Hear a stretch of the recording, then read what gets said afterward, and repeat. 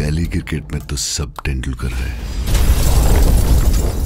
असली टैलेंट वो होता है जो भरे मैदान के बाहर सिक्सर मार सके। पिछले दो तीन सालों में साउथ की इंडस्ट्री को लेकर सबका परसेप्शन अब ऐसा हो चुका है कि भाई ये लोग आंधी की तरह फ़िल्म लेकर आएँगे थिएटर्स में धूम मचाएँगे और धुआंधार कलेक्शन करके जाएँगे। वेल ये बात पूरी तरह से सच नहीं है। रीजनल सिनेमा में भले ही ये फ़िल्में फाड़ू कलेक्शन कर रही हो, लेकिन हिंदी ऑडियंस को तो कई बार घंटा फ़र्क ही नहीं पड़ता की कौन सी साउथ फ़िल्म आई और चली गई। रजनीकांत सर की जेलर का हिंदी कलेक्शन सिर्फ़ सेवन करोड़ था। कमल हसन की मास्टर क्लास मूवी विक्रम का हिंदी कलेक्शन बस टेन करोड़। और इवन थलपति विजय की लियो का हिंदी कलेक्शन सिर्फ़ ट्वेंटी सिक्स करोड़ था। लेकिन सेकंड लेकिन क्या तुम्हें पता है कि कल की 2898 एडी का Hindi box office collection 292 crore था? वेल ऐसा क्या हुआ कि साउथ सुपरस्टार साउथ में प्रभास जितने बड़े मेगा स्टार तो हैं बट नॉर्थ में प्रभास के आसपास भी नहीं। और जिस स्टार को लोगों ने जोकर तक बता दिया, वो आज नॉर्थ साउथ हर जगह इतना डोमिनेट कैसे कर रहे हैं? और कौन सी बात प्रभास को एक ट्रू पैन इंडिया स्टार बनाती है? मतलब क्वेश्चन ये आता है की प्रभास ने ऐसा क्या अलग किया की साउथ के साथ साथ नॉर्थ में भी उनका दबदबा बना रहा है? और ऐसी क्या गलती बाकी साउथ स्टार्स ने की कि इतनी तगड़ी मूवीज़ बनाने के बाद भी उनकी मूवीज़ का बॉक्स ऑफ़िस कलेक्शन प्रभास की मूवीज़ के कलेक्शन का टेन परसेंट भी नहीं रहा। और क्या सच में ट्रू पैन इंडिया स्टार सिर्फ़ प्रभास ही है? तो साउथ स्टार्स के पैन इंडिया स्टारडम के असली दम का लगाते हैं अनुमान और बताते हैं आपको तब तक आज जरा वीडियो को लाइक कर दो, फिर चाहे आप निकोबार से हो या फिर अंडमान। तो चलिए समझते हैं कुछ पॉइंट से कैसे प्रभास ने नोइंगली और अनोइंगली एक ऐसा अनबीटेबल स्टारडम क्रिएट किया। देखो, आजकल पैन इंडिया स्टार्स का एरा चल रहा है और अगर कोई एक स्टार है जिसको सच में true blue pan India star बोल सकते हैं तो वो है हमारा प्रभास गारू। क्योंकि इनकी मूवीज़ जब रिलीज़ होती है तो कश्मीर से कन्याकुमारी तक हाउसफुल के बोर्ड नज़र आते हैं। और जैसा की एक बार एस ने कहा था की वो अपना कच्चा तक बेचने को तैयार है धोनी को आईपीएल में खरीदने के लिए। ठीक वैसे ही प्रोड्यूसर्स भी अपना घर, बार प्रॉपर्टी सब कुछ बेच के प्रभास पर लगाने के लिए रेडी रहते हैं। क्योंकि उन्हें पता है कि प्रभास पर पैसा लगाए तो 100 परसेंट प्रॉफिट तो पक्का होगा ही होगा। पैसा पैसा होगा अब देखो क्वेश्चन यह आता है कि प्रभास इतने बड़े पैन इंडिया स्टार बने कैसे? अब तुम बोलोगे कि वो पैन इंडिया मूवीज़ करते हैं इसलिए बट पैन इंडिया मूवीज़ तो साउथ के बहुत सारे स्टार्स ने की। बट प्रभास जितना बड़ा पैन इंडिया स्टार कोई नहीं बन पाया। तो प्रभास के पैन इंडिया स्टार और बाकी साउथ स्टार्स के ना बनने के रीजन पर बात करें तो देखो, प्रभास के लिए टाइमिंग हमेशा सही रही। जिस टाइम पीरियड में बाहुबली एंड बाहुबली टू जैसी फ़िल्में आई, उस टाइम पर Bollywood larger than life heroes और कैरेक्टर्स लैक कर रहा था। बॉलीवुड में उस टाइम पर सलमान ही थे, जो उस टाइम पर larger than life roles play किया करते और बाकी stars like S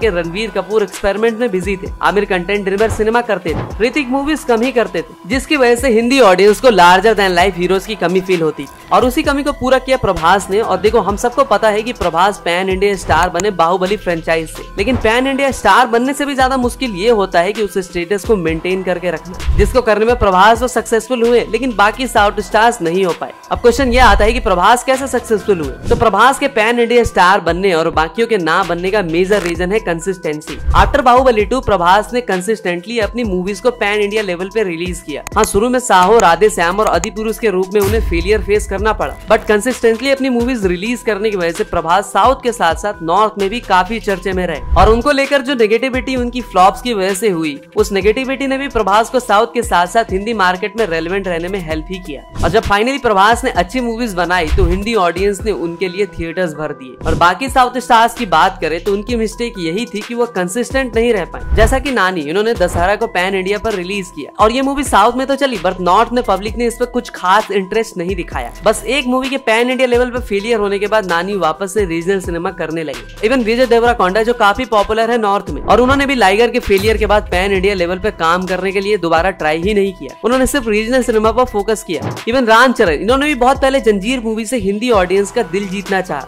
बट जंजीर देख के हिंदी ऑडियंस का दिल का भरोसा हो गया। और फेलियर से हताश होकर उस टाइम पर रामचरण ने दोबारा ट्राई ही नहीं किया और वापस रीजनल सिनेमा करने लगी। और उसके बाद वो फिर से एस के साथ वापस आए क्योंकि राजा मौली हिट की गारंटी जो होते। तो यहाँ पे मैं कहना चाहता हूँ कि बाकी साउथ स्टार्स भी बहुत बड़े पैन इंडिया स्टार बन सकते थे। बट बॉक्स ऑफ़िस का एक फटका खाने के बाद उन्होंने पैन इंडिया बॉक्स ऑफ़िस दंगल से अपना नाम कटवा लिया और हार मान ली। बट प्रभास की जब मल्टीपल मूवीज़ फ्लॉप्स भी हुई तो पैन इंडिया लेवल पे उन्होंने तब भी हार नहीं मानी। और रिज़ल्ट की परवाह किए बिना अपना काम करते रहे। और क्या बस पैन इंडिया मूवी रिलीज़ करने से ही तुम बिग पैन इंडिया स्टार बन सकते हो तो ऐसा नहीं है। क्योंकि अगर ऐसा होता तो जो साउथ सुपरस्टार्स प्रभास से बहुत पहले से पैन इंडिया मूवीज़ कर रहे हैं और आज भी करते हैं बट फिर भी उस सुपरस्टार की box office appeal Hindi market में प्रभास के सामने कुछ नहीं और उन स्टार्स के बारे में आगे बात करेंगे बट पहले मैं आपको ये बता दूँ कि सिर्फ़ कंटिन्यूसली पैन इंडिया मूवीज़ करना इनफ नहीं है। पैन इंडिया लेवल पे बिग स्टार बनने के लिए प्रभास ने कंसिस्टेंसी के साथ साथ मूवी रिलीज़ करने के साथ एक और मास्टर स्ट्रोक खेला, जिससे बाकी साउथ स्टार चूक गए। तो क्या था वो मास्टर स्ट्रोक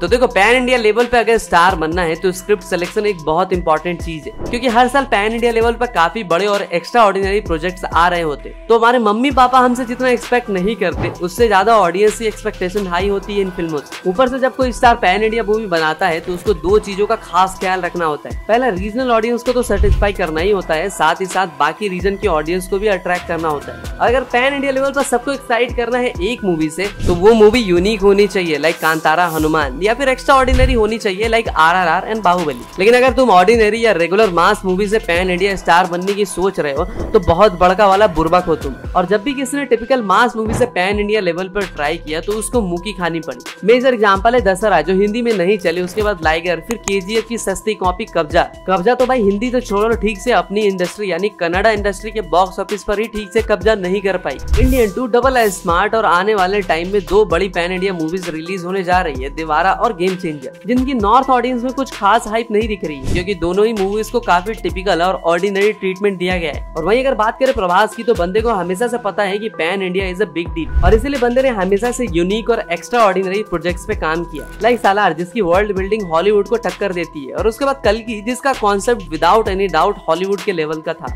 और प्रभास की जो मूवीज़ नहीं भी चली, लाइक साहो, राधे श्याम, आदि पुरुष, वो भी ऑन पेपर बहुत एक्साइटिंग लग रही। लेकिन कुछ मांडू किस्म के सांडू डायरेक्टर्स ने सात सौ करोड़ के इस प्रोजेक्ट में आग लगा दी। और अगर प्रभास के लाइनअप को देखते हैं तो जैसा कि रिसेंटली उन्होंने एक साइंस फिक्शन फ़िल्म कलकी की। इसके बाद वो एक हॉरर कॉमेडी राजा साहब कर रहे उसके बाद सालार टू, फिर कलकी टू। वही साथ साथ एक वॉर ड्रामा फ़िल्म फौजी भी कर रहे हैं। और इन सब के अलावा एक unique violent film with Vanga called Spirit भी उनके बकेट में शामिल है। तो प्रभास जैसे अलग अलग जॉनर्स को एक्सप्लोर कर रहे हैं। आपको देख के ऐसा नहीं लगता कि he is choosing script like international heroes क्योंकि हमेशा से हमने देखा है कि हॉलीवुड के सुपर ही होते हैं, जो अलग अलग जॉनर्स को इतना एक्सप्लोर करते हैं। और कहीं ना कहीं प्रभास भी वही चीज़ कर रहे हैं। यहाँ पे एक और चीज़ जो प्रभास को बाकी साउथ स्टार से एकदम अलग बनाती है, वो है उनका डेडिकेशन और रिस्क टेकिंग एबिलिटी जब बाकी south star typical masala entertainer sign करके सेव खेलते हैं और हर साल मूवी लेके आ जाते हैं, ये सोच के कि कहीं हम इरेलीवेंट ना हो जाए। बट वही प्रभास ने बाहुबली फ्रेंचाइज को पाँच साल दे डाले और इन पाँच साल में उन्होंने बाहुबली के अलावा कोई और फ़िल्म करने की सोची ही नहीं। इवन करोड़ों के एड्स ऑफ़र तक को रिजेक्ट कर दिया। और इतने साल तक स्क्रीन से दूर रहने और पाँच साल सिर्फ़ एक प्रोजेक्ट को देने में बाकी स्टार्स की आत्मा काँप जाती बट प्रभास ने रिस्क लिया और बाहुबली फ्रेंचाइज के लिए जी तोड़ मेहनत की। हॉर्स राइडिंग सीखी मूवी में उन्होंने दो दो कैरेक्टर प्ले किए, जिसके लिए उन्हें वेट लॉस और गेन भी करना पड़ा। और एक मेन स्ट्रिंग सुपरस्टार का इतना डेडिकेशन दिखाना एक मूवी के लिए बहुत रेयर होता है। और यही वो चीज़ है जो प्रभास को ज़्यादा अपीलिंग बनाती है compare to any other star क्योंकि साउथ के बहुत सारे स्टार बस मसाला एंटरटेनर करते रहते हैं और उन्हें एक ही टाइप के मासे आउटडेटेड रोल प्ले करते नज़र आते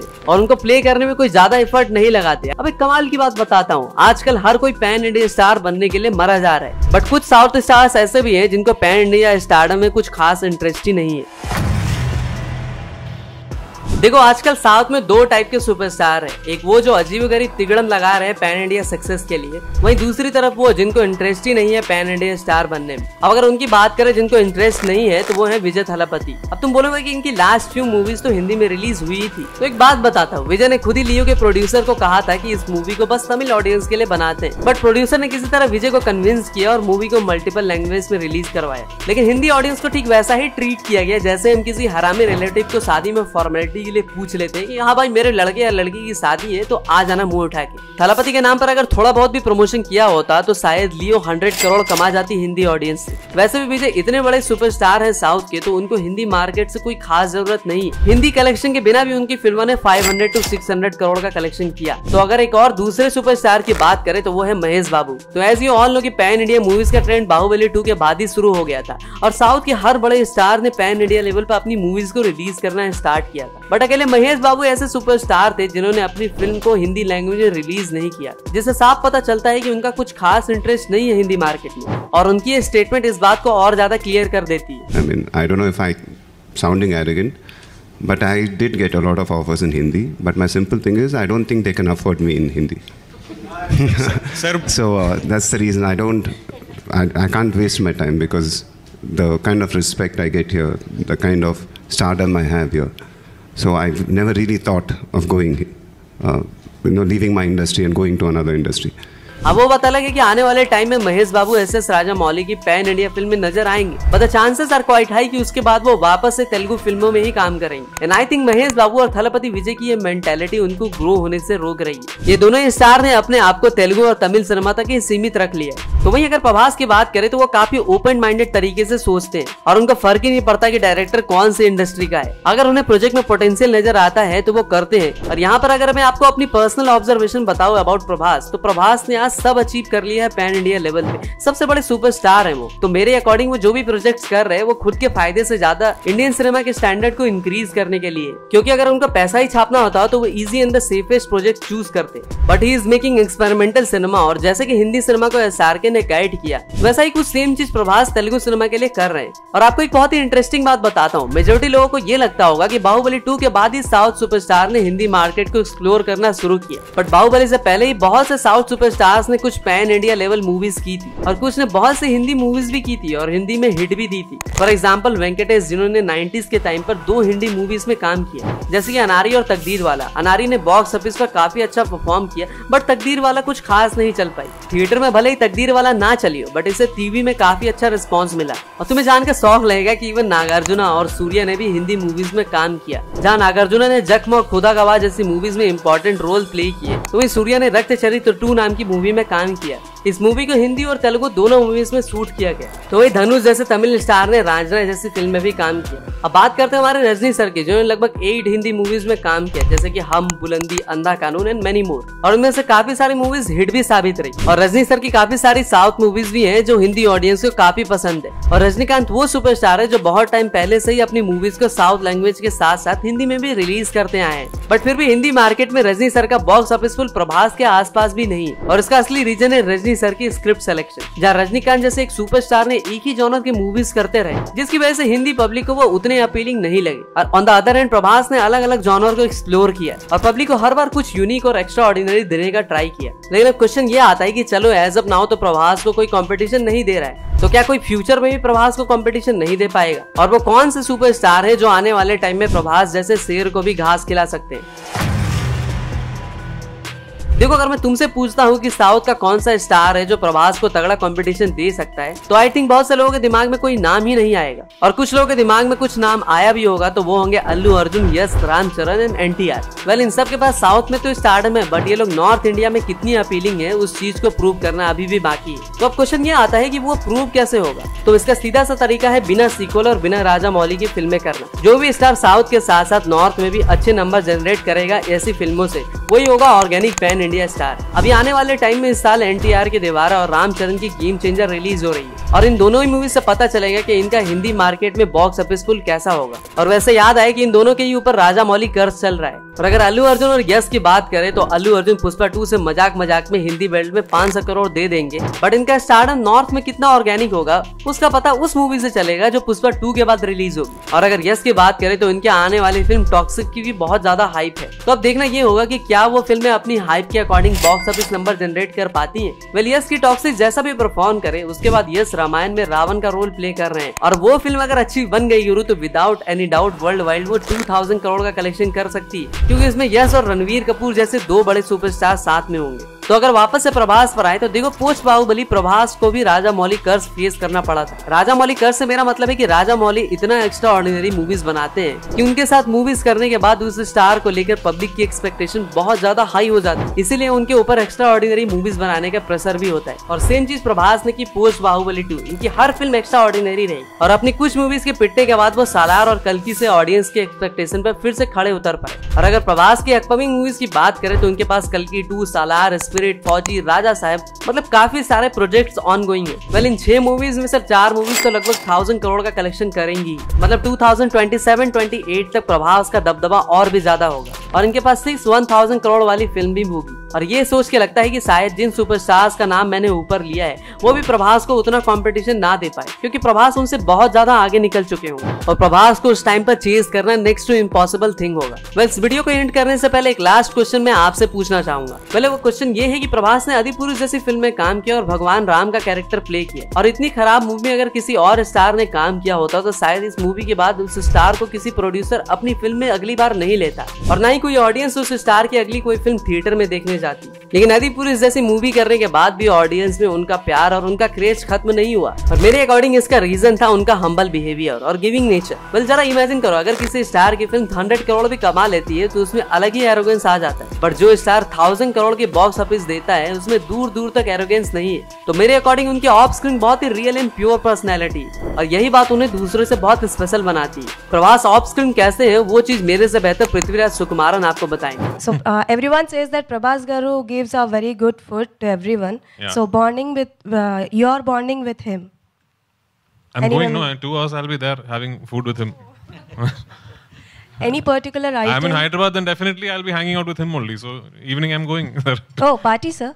Yeah, of course okay then so guys इस वीडियो को आप यहीं पर खत्म करते हैं। बाकी आप अपने थॉट ज़रूर शेयर करना about Prabhas and other south stars I would love to read them so अगर वीडियो पसंद आई हो तो लाइक ठोको कभी कभी सब्सक्राइब भी कर दिया करो। तो मैं मिलता हूँ तुमसे एक और इंटरेस्टिंग वीडियो के साथ। तब तक के लिए हर हर महादेव।